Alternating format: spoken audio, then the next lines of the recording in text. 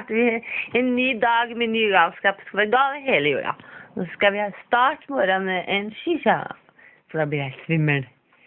Og så energidrikke fett tre. Jeg sover så dårlig i natt etter i går.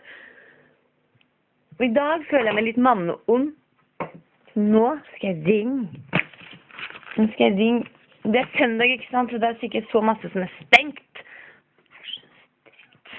Jeg skal ringe Kampsportsenteret. Skal ringe Kanskje jeg må ringe VM og Gallis bare for å høre om de har noen triks om hvordan jeg skal takle sånne situasjoner. Skal jeg drive og ha med meg den posen overalt, eksempel, og pusse den?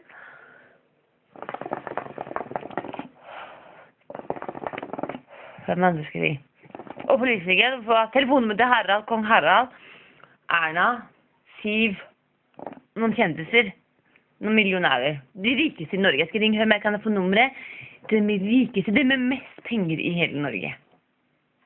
Det går an å gjøre på en søndag. Mm. Her har jeg planen klar. Og jeg spiser bare masse mandariner. Og så har jeg lakka neglene, ikke sant, for det gjorde jeg i går. Men jeg ble ikke kjendis. Det skal jeg bli snart.